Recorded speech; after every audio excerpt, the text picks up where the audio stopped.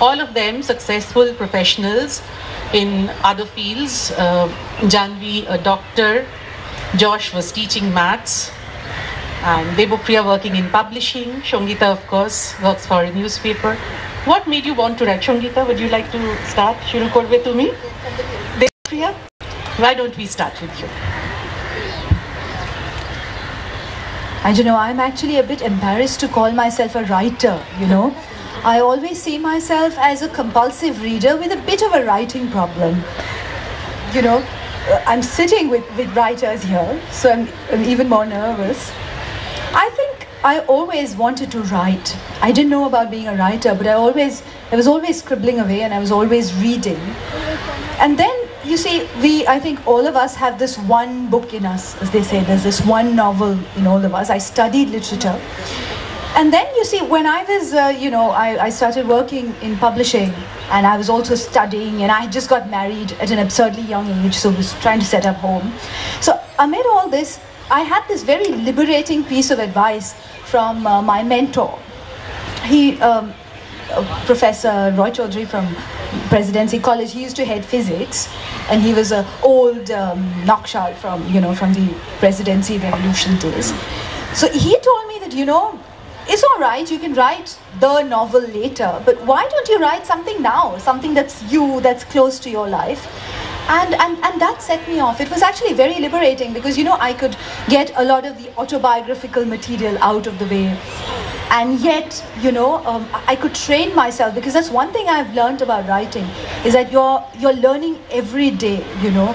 You're, um, you have to work at it. You have to keep reading. You have to keep pushing yourself. There are very bad days when you just you know um, you, you, you don't know if you can even write the next sentence. So so that's what it did. It, it kind of set me on a journey.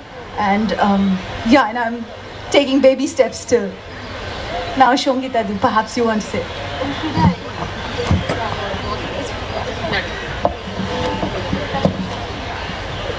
you know, uh, good evening, everyone. Um, actually, it's amazing to hear someone like, you know, why she's writing, and I was just actually not uh, listening to you properly. Uh, I was probably trying to relate with my uh, story that what what was it? Why did I write? And how do I entered into this, you know, you know, circus, I might say, of you know writing and writing every day, every moment inside, uh, if, if, not with pen and paper, inside your mi- mind even, and then that you know that actually your story and my story is really different, as because. I can tell you one uh, little uh, little story right now. I met my old friends just a month back. They are so old. They're my school friends, and we met after 20 years. And then one of my friend, uh, I'm so obliged. She she showed me some you know letters of mine that are all written almost maybe 22 years, 23 years ago. I'm 40 years old and think I'm, I, I have letters in my hand which are written 25 years, 23 years ago. And uh, my friends told that I was so much into, you know, writing letters to them back at when I was 13, 14 years old.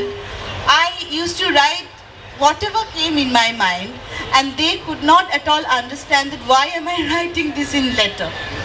Because it was not like, like how are you Hamwell or kind of stuff. It was all everything which came in my mind.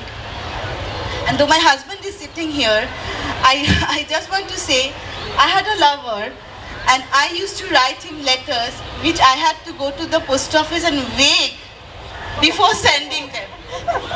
You know it was like 30 pages 40 pages.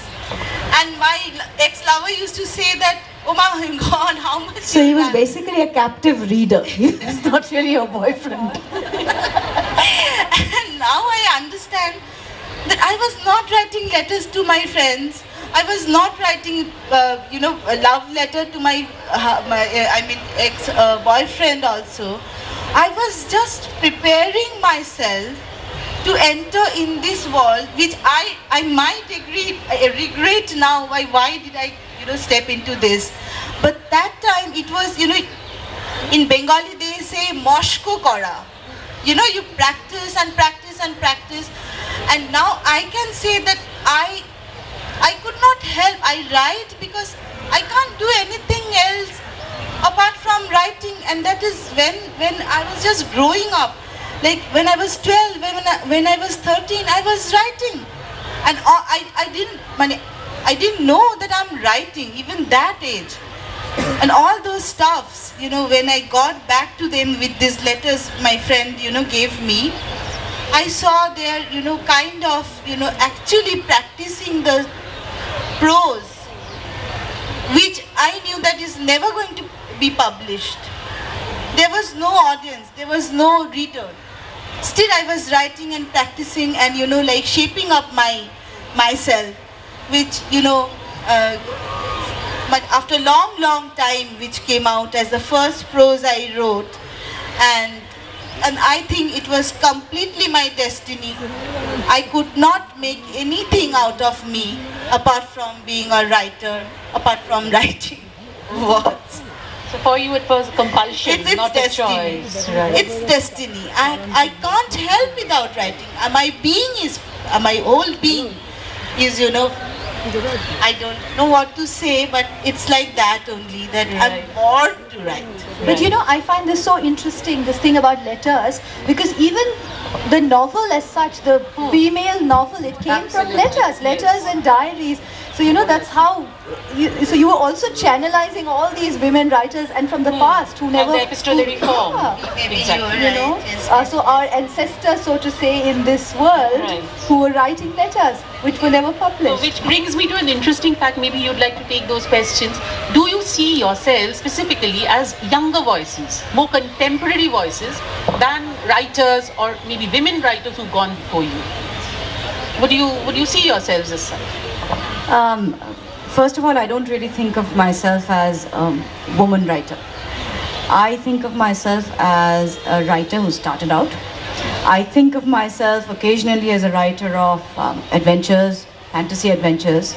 Um, I went to the extent of truncating my name, uh, which is Jashodhara, which is a very beautiful name, um, to Jash, which is what my friends call me, and which is extremely androgynous, simply because uh, when I started telling people I was writing, and because of my name, uh, they assumed I was going to write poetry or I was going to write a romantic novel or something very literary, and perhaps I will someday, but I wasn't at that point in time.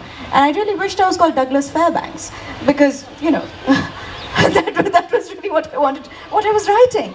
So, um, so I went for a, well, a, not really a fake name, but I went for a consciously androgynous version of my name because that's exactly what I did not want to be. I did not want to be a woman writer. I wanted to be a writer of adventures who happens to be a woman. But yeah, young voices, yeah, I suppose uh, my voice is young enough. I may not be that young, chronologically speaking. Jahnavi? Can go back to the original question of why does one write? And I was just telling a moderator here that, you know, it's such a difficult question. That is the most difficult question. Why do you write? Every author, I think, is terrified of that question. Um, but But tell um, us. but you know, um, listening to my fellow panelists, what comes forth is something which I want to say, not a very long-winded thing, not a very complicated thing, but writing makes us happy. I think I feel happy when I write, and so I write. How did one come to write? That's a different thing. That's a process. Um, I used to be a medical doctor in one lifetime. I stopped practice not to write, uh, to raise family, as a lot of us women do. And there was a big gap between um, quitting medicine and writing, almost 10 years. But um, when I began to write, it of course stemmed from reading, which is what um, Devapriya said. The first thing is to read, to be a good reader. And uh, my mum taught literature, and she, in fact, I was chatting, she did her thesis on Indian women writing in English years back. She never thought her daughter would be a writer. And um, she did Anita Desai, Shashi Deshpande, all our greats. And I read along with her, and um, I read. So from that process, writing happened. But why did I continue to write? Why do I write? Because it makes me happy. I think we'd all agree, right? It makes us happy.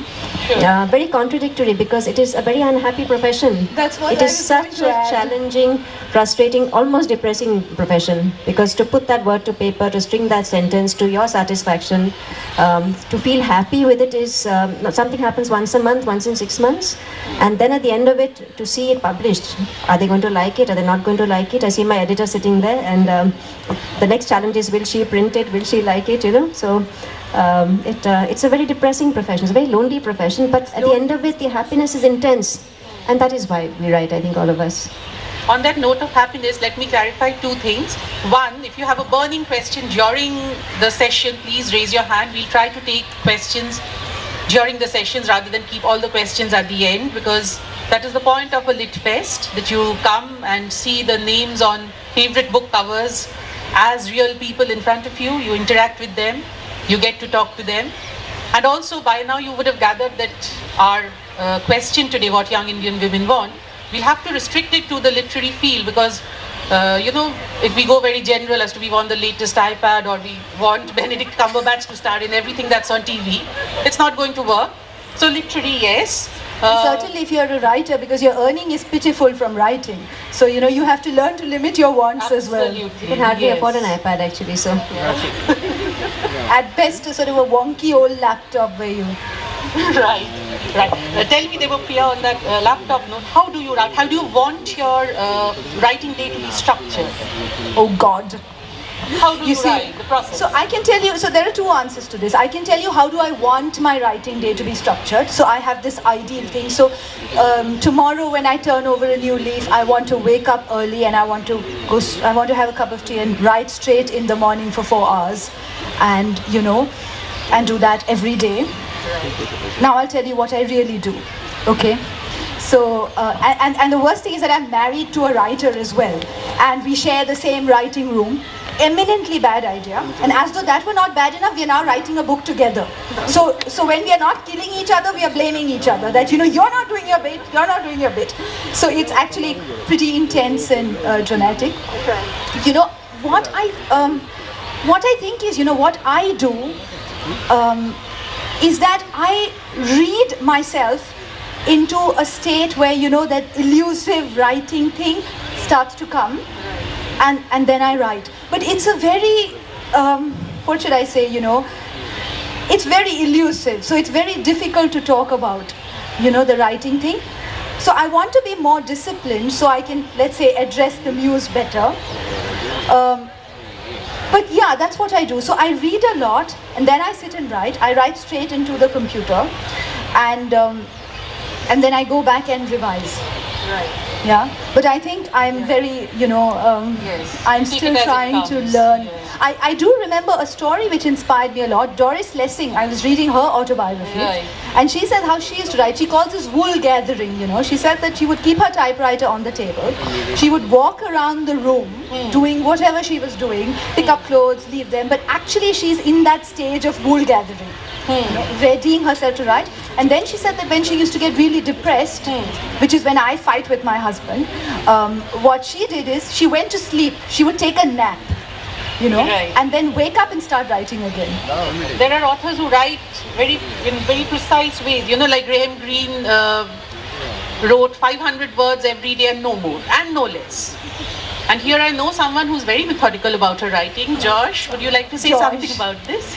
I used to be. I've spectacularly fallen off the wagon, but um, I intend to get back after this uh, Litfest season. No, I, uh, I'm, I'm a good girl. I, I do wake up early. I do make myself a cup of tea, and I do start writing. I have ruined this habit by trying to write first on a laptop, and if you have an internet connection, burn it because I it's your that. worst enemy. I write in an exercise book and a pen or, or with a pencil. And I love it because I also doodle while I write. I scribble, I, I do She high draws school very maths. well, by the way. And I, I find my thoughts flow really well. I followed um, Philip Pullman's advice, which is to write a thousand words every day, and occasionally I do cross it, and I, I, I can actually, if I push myself, um, I, I can do one and a half thousand good days too. But that has to be on paper. Has to be pen and paper, has to be uh, complete silence. Um, I hate being disturbed. I'm the person who throws the tantrums when um, anyone calls. My phone is off. I am unsocial. I'm, when I'm writing, I'm quite unpleasant too. Um, and I want to get rid of my internet connection. Basically, because that, that, that has kind of, uh, ostensibly in the name of marketing my book, I have uh, really been wasting a lot of time. Um, and uh, yeah, that, that's it. You just get off the get off the net and, and you get into writing and, and it'll happen. And I don't think for my first two books I did any wool gathering. It must have happened over the years because when I sat down to write it, just whoosh, uh, you know, two books came out like that. Of course, it's one story. It was only before the third book, this one that I'm going to write, that I took some time because I think it's cooking. And I think it's about cooked now. Like February, I think I'll sit and it'll happen. A completely opposite view. Uh, very disorganized. I'm a very organized person, but um, you know what happens to us when we are mothers and wives? Especially if you're a mother, that's it. So there's more wool gathering than writing, a lot of cooking, not much writing. But it's useful. I do that in the course of the day when I structure the day. I start the day early because the child goes to school, tiffins, etc. And um, the housework, the chores, the outside chores. But the whole day, the, the back of the mind is a thought actually. One does wool gather a lot, and then I sit to write at 10 at night, and I write till early morning. So what suffers is my sleep completely.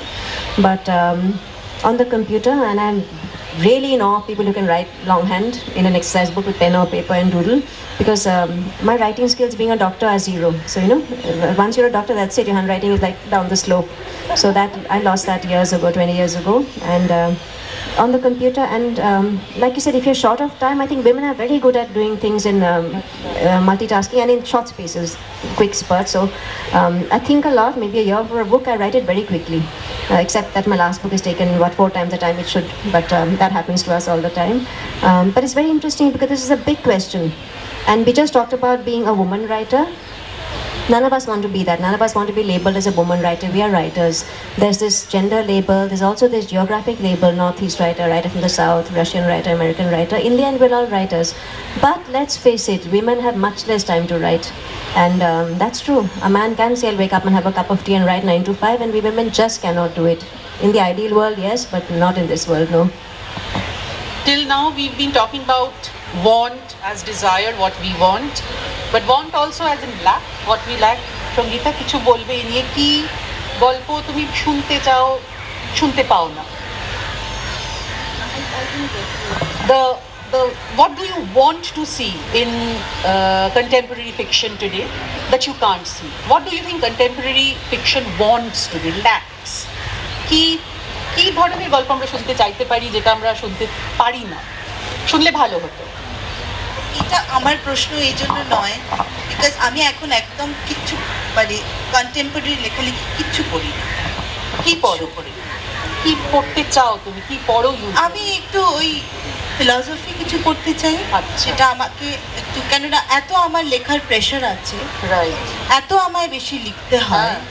আমি একজন full time writer আর আমি I don't know মানে তোমরা এখানে যারা রয়েছে তারা কতটা লিখেছে। কিন্তু এখনও অবধি আমি প্রায় আমার পাবলিশড লেখার সংখ্যাই হচ্ছে more than fifteen right R have ten to twelve books হ্যাঁ তো আর আমি তো একজন বেঙ্গলি রাইটার মানে বাংলায় লিখি। হ্যাঁ। তো আমার কিছু কাজ ট্রান্সলেশন হয়েছে। তোমার অনেক কটা বই ট্রান্সলেশন হয়েছে হ্যাঁ। Penguin and from Harper Collins Right. কিন্তু আমার অ্যাকচুয়ালি আমি earn my living from writing হ্যাঁ। তো আর যেটা ও সবাই যেটা বলছিল তো আমাকে এত বেশি লিখতে হয় এবং অনেক রকম লেখা লিখতে হয় আমার চাকরিটাও লেখার। হ্যাঁ। যে কারণে আমার শুধু গল্প উপন্যাস লিখলে তো হয় না আমাকে হয়তো ফিল্ম রিভিউ লিখতে হয় আমাকে হয়তো ব্লগ লিখতে হয় আমাকে হয়তো কভার স্টোরি লিখতে হয় হয়তো ফিচার লিখতে হয় হয়তো কোনো একটা অন্য কিছুর একটা তোমাকে মানে। টাইম লিমিটেও তো অনেক লিখতে হয় পুজো সংখ্যায় লিখতে ভীষণ হয়। ভীষণ বেশি পরিমাণে লিখতে হয়। তো সেই জন্য আমার আর যেটা হয়েছে কি আমি এখন এটা খুব খারাপ শোনাবে আই নো যে মানে know, একটা স্টেটমেন্ট এরম দেওয়া যে আমি কন্টেম্পোরারিদের লেখা পড়ি না। পড়ি না বিকজ আই থিঙ্ক যে এত কিছু লেখালেখির পরে এবং পার্সোনাল লাইফের কিছু প্রায়োরিটিস আছে সেগুলোকে। টাইম দেওয়ার পরে আমার কাছে বেশি টাইম নেই। পড়ার জন্য। ঠিক আছে? তো আমি একটা ফিল্টার্ড ওয়েতে পড়ি। আচ্ছা। মানে যেটা নিয়ে আমি শুনছি খুব ভালো হচ্ছে সবাই বলছে রিভিউ বেরোচ্ছে বেশ লং টাইম ছ মাস আট মাস ধরে একটা বই সম্পর্কে কথা হচ্ছে কে একটা বড় প্রাইজ পেল একটা নোবেল প্রাইজ পেল। আমার নিজের পড়ার পদ্ধতিটা এখন এই। তো আচ্ছা। চারপাশে প্রচুর লেখক with you due respect to every আমি কিন্তু সেই অর্থে কন্টেম্পোরারি সাহিত্য কি হচ্ছে আমি I am not much aware of হ্যাঁ কেননা আমার টাইম খুব কম। তো সেই জন্য আমি বলতে পারব না যে কী ল্যাক হতে হবে হ্যাঁ একটা ওভার ওভার একটা মানে ভাষা ভাষা করে বলতে পারি যে যেটা ল্যাক হচ্ছে, সেটা হচ্ছে মূলত একটা একটা মানে বোধহয় লিটারেচার একটা পাসিং ফেজের মধ্যে দিয়ে যাচ্ছে, যেখানে ঘটনা প্রবাহ এই মুহূর্তে যা ঘটে যাচ্ছে যা চেঞ্জেস মানে মানে কি রাইটার নিজেও। এই চেঞ্জেসগুলোর মাঝখানে দাঁড়িয়ে একটু অবাক হয়ে এই চেঞ্জেসগুলোকে নোটিস করছে আর সেগুলোকে পোর্ট্রে করছে। কিন্তু আরও ডিপ ডিপ রুটেড যে যে এমন কিছু সত্য আমাদের জীবনের আছে যেগুলো এই সময়ের সঙ্গে বদলায় না। যেগুলো একদম অনেক বেশি। Universal.